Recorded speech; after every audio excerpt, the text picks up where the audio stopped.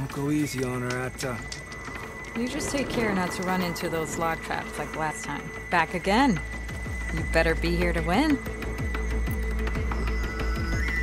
I'm good to go. Let's hit the track.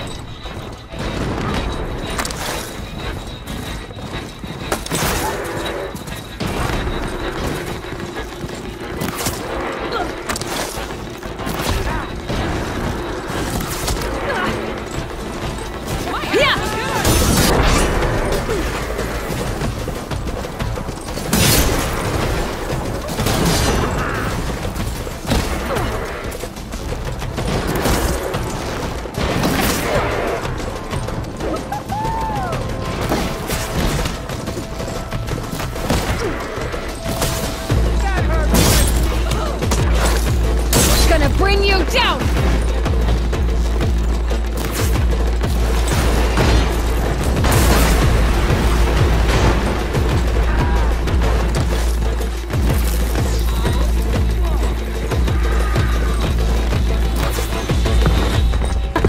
Made it. Here. Your prize for winning the race. You earned it. I think you owe me some answers. Name's Atta. As for how we got these mounts, most of us here used to be rebels. Joined Regalla's army thinking we'd get a chance to fight in a real war against the Carja. Instead, Regala slaughtered our own in cold blood Barren Light. When we made it back to camp, we snuck out on our mounts and never looked back. Been racing the clan lands ever since. Decided we were better off on our own. No rules, no chiefs. Just the speed of our mounts and the taste of blood. Doesn't sound too bad, I guess. Where's your quiet friend? The one with the mask. He didn't join the race. He gave up his spot so you could join. Probably for the best. What makes you say that? That one hasn't lost a single race.